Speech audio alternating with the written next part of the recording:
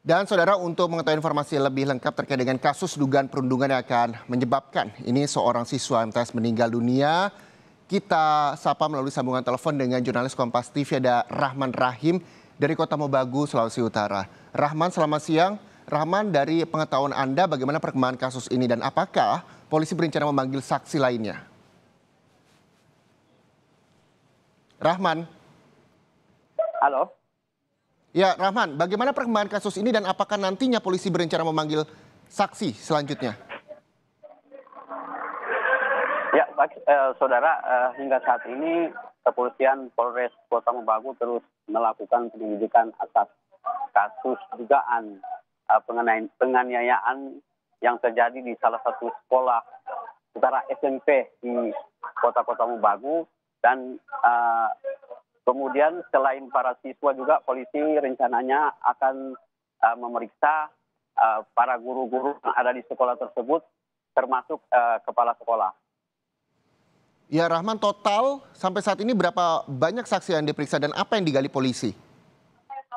Uh, hingga saat ini uh, berdasarkan uh, hasil pemantauan kami di Polres Kota Kotong Bagu uh, telah ada sembilan anak siswa yang uh, sudah dilakukan uh, pemeriksaan oleh pihak kepolisian Polres Kota Mubagu dan sejumlah siswa juga uh, sudah ada yang mengaku uh, diduga melakukan uh, pemukulan terhadap korban. Iya, uh, diperiksa oleh polisi apa yang digali oleh polisi terkait dengan para siswa yang sudah melapor, baik pun siswa yang melaporkan dirinya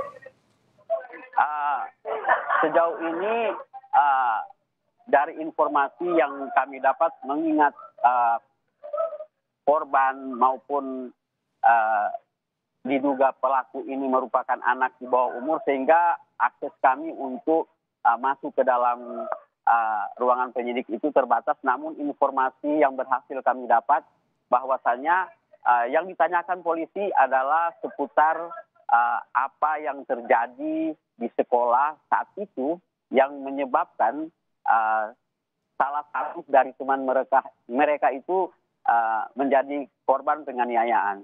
Nah, dapat juga diketahui bahwasanya uh, dugaan penganiayaan terhadap salah satu siswa sekolah di kota-kota Umubagu ini uh, orang tua sesungguhnya tidak mengetahui sama sekali bahwasanya anak mereka itu men, mendapatkan tindakan kekerasan dari dari uh, pihak sekolah, dari teman-teman uh, korban di sekolah. Namun hal ini diketahui ketika korban sempat dirawat di rumah sakit dan sebelum menjalani operasi korban sempat mengaku kepada orang tuanya bahwasanya dia sempat eh, mendapatkan tindakan kekerasan eh, dari teman-temannya berupa pemukulan dan tendang di anggota tubuhnya, namun uh, tidak diketahui pasti berapa jumlah teman-teman mereka yang uh, melakukan dugaan penganiayaan sebab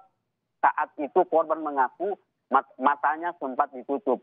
Okay. Pun dengan pihak pun dengan pihak sekolah uh, baru mengetahui kasus ini ketika orang tua uh, melapor ke pihak sekolah. Sementara okay.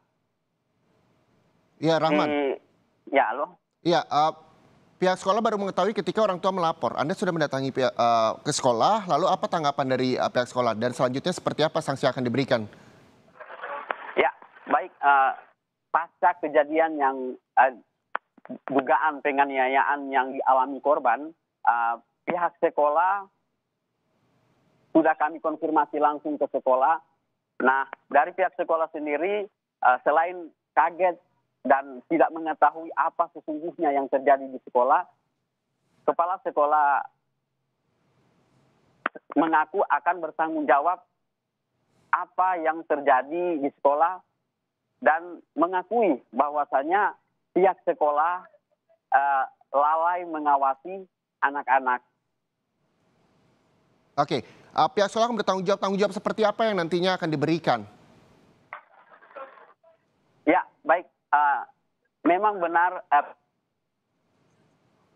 uh, dikatakan uh, pihak kepala sekolah akan bertanggung jawab uh, apa yang menimpa korban, namun hmm. tidak di, di, dijelaskan sama sekali bentuk dari tanggung jawab yang akan uh, diberikan seperti apa. Hanya saja dengan penegasan uh, kepala sekolah bahwa mereka mereka itu akan bertanggung jawab. Oke, baik. Terima kasih Rahman Rahim, jurnalis Kompas TV dari Kota Mebagu, Sulawesi Utara.